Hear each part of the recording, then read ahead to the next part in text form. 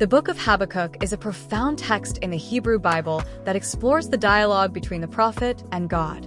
It addresses the themes of justice, faith, and divine sovereignty. This presentation will provide an analytical summary of its key insights and themes.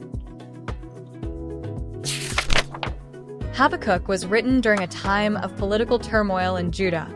The Babylonian threat loomed large, raising questions about God's justice. Understanding this context is crucial for grasping the prophet's concerns and the divine responses he receives. In the opening chapters, Habakkuk voices his frustration over the injustice and suffering in Judah. He questions why God seems silent in the face of evil. This sets the stage for a deep exploration of faith amidst adversity. God answers Habakkuk with a promise of judgment against the wicked. He reveals that the Babylonians will be the instrument of his justice. This response challenges Habakkuk's understanding of divine timing and the nature of righteousness. One of the central themes is encapsulated in the phrase, the righteous shall live by faith.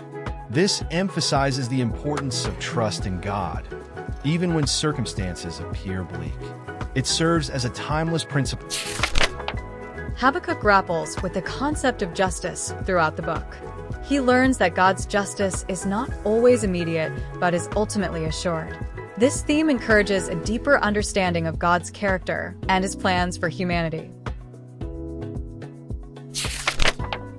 Book emphasizes God's sovereignty over nations and history.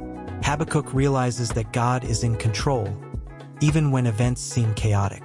This theme reassures believers of God's ultimate authority and purpose in the world. Habakkuk concludes with a powerful prayer that reflects his transformation. He moves from complaint to worship, demonstrating the importance of prayer in deepening one's relationship with God, even in difficult times. The insights from Habakkuk are relevant for modern readers. They remind us to seek justice, maintain faith, and trust in God's sovereignty amidst life's challenges. These themes encourage a robust spiritual life in a complex world. In conclusion, the book of Habakkuk offers profound insights into the nature of faith, justice, and divine sovereignty. Its themes remain relevant today, encouraging believers to trust in God's plan and remain steadfast in their faith.